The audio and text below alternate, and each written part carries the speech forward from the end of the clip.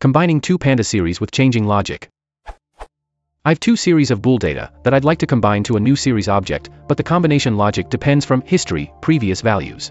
Series 1 contains mostly false, but single true values. Series 2 usually contains periods of true or false values, the probability of repeating values is quite high. In the resulting series I need periods of bool values that begin with a true section whenever both are true and end when the section in series 2 ends, i.e. no longer contains true. E.g.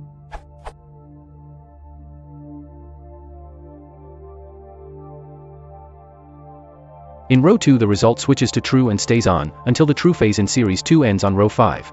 This is what I have come up with so far.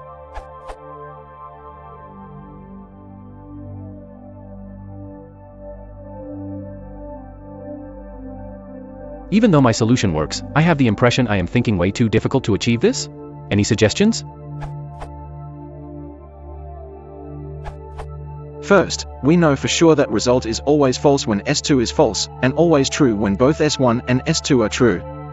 That does not depend on previous values. Then we fill NAs with forward fill.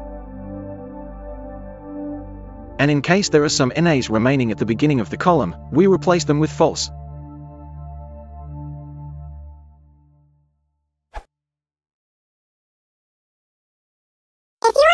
The channel, please consider liking and subscribing.